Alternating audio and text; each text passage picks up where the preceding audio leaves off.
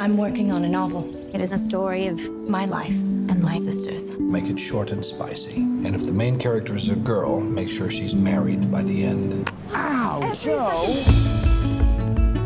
I want to be an artist in Rome and be the best painter in the world. That's what you want too, isn't it, Jo? To be a famous writer? Yes, but it sounds so crass when she says it. My girls have a way of getting into mischief. Well, so do I. This is Meg, Amy, Beth, and Jo. Ah! I intend to make my own way in the world. No one makes their own way, least of all a woman. You'll need to marry well. But you are not married, aren't you? Well, that's because I'm rich. Jo, would you like to dance with me? I can't because I scorched my dress. And Meg told me to keep still so no one would see it. I have an idea of how we can manage.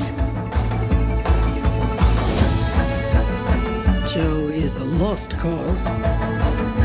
So you are your family's hope now. I believe we have some power over who we love. It isn't something that just happens to a person. I think the poets might disagree. We can leave right now. I'll sell stories. Jo. And you, you should be an actress and you should have a life on the stage.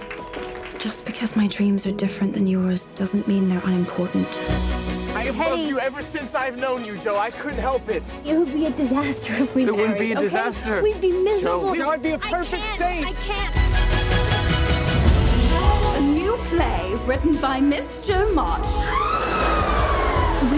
They have minds and they have souls as well as just hearts. I want to be great or nothing. And they've got ambition and they've got talent as well as just beauty. And I'm so sick of people saying that love is just all a woman is fit for. I'm so sick of it.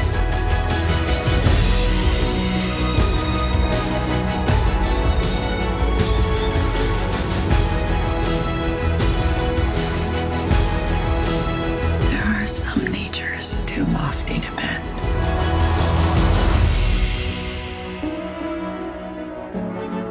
So, who does she marry?